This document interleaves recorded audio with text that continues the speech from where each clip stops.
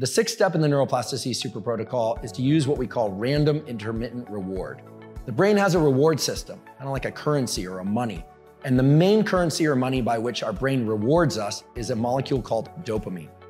Dopamine is often talked about as a molecule that makes us feel good, but the real effect of dopamine when it's released is to make us feel more motivated, more focused, and more alert on whatever it is that we're doing.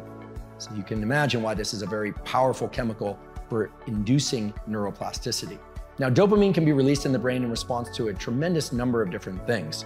For instance, if we're very hungry and we eat, we experience dopamine release. If we are thirsty and we have something to drink, we experience dopamine release. However, dopamine can also be released by what we call subjective understanding, meaning our belief about whether or not we are on the right track or whether or not something that we're doing is good for us.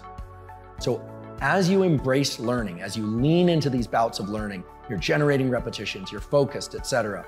Every once in a while, if you do something correctly, or even if you have an error, you should tell yourself mentally that you're doing a good job. Believe it or not, that will cause the release of a little bit of dopamine and will further reinforce the motivation for further learning.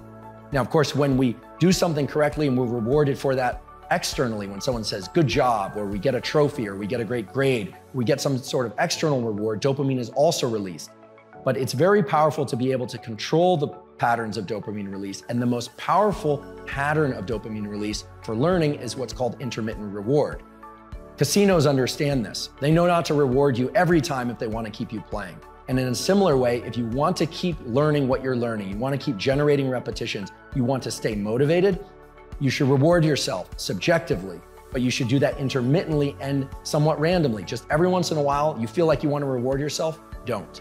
And then maybe on the next trial, if you do it correctly or you don't, maybe then you reward yourself. So keep it random. And in doing that, the neural circuits for reward and the neural circuits for focus and the rest of the features that are important for learning will just naturally unfold.